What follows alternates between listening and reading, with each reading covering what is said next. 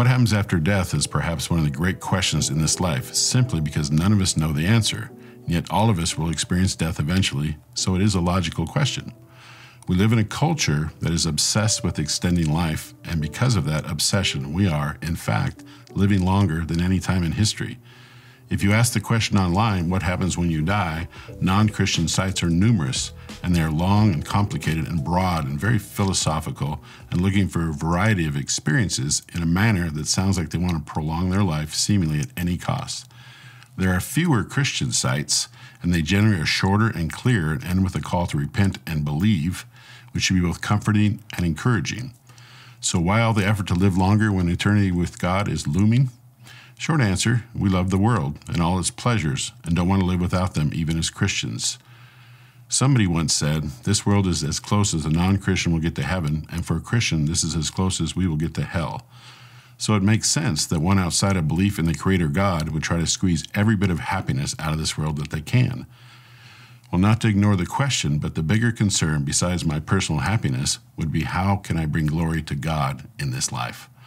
So when I face my Creator, He will know me because I've studied who He is through His Word, and I talk to Him all the time through prayer and strive for holiness and obedience. Hebrews 9:27 states, "And just as it is appointed for man to die once, and after that comes judgment." I would like to think the judgment part would be more important than the timing, but we are curious people and planners, so the question exists and a natural thing to have questions about. The Bible does not provide specific details about what happens right after we die. It is obvious we will enter into an environment that will be beyond anything we could dream up. It will be the ultimate shock and awe. One of the things that will make heaven so great is we finally feel that we are at our true home. We are not made for this world. We know that those are his who his are his believers will be with God in heaven. Luke 23:43 recounts the story of the one man that was crucified with him who said, "Jesus, remember me when you come into your kingdom. And he said to him, Truly, I say to you, today you will be with me in paradise. There was an immediacy in that statement. Death is the separation of body and soul. At the moment of death, believers will be made perfect and cleansed from all unrighteousness. Heaven is fully pure and free from sin. Thus, when God takes us to heaven, he makes us fully presentable by showing us to be blameless before him. Even for believers, the prospect of death is sometimes a fearful thing because death is both certain and uncertain at the same time. We need to be courageous and lay aside our fears in the confidence that we have a God who time after time says to his people, Do not be afraid.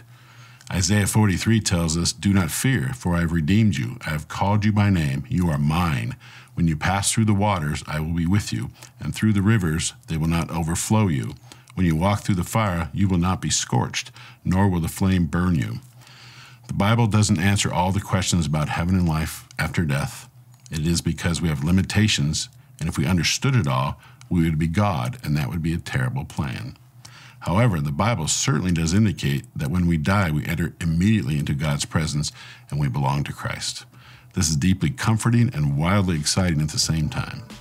Well, let me close with this from 1 Corinthians 2 9 through 11.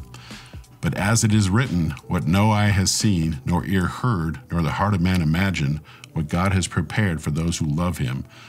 These things God has revealed to us through the Spirit, for the Spirit searches everything, even the depths of God.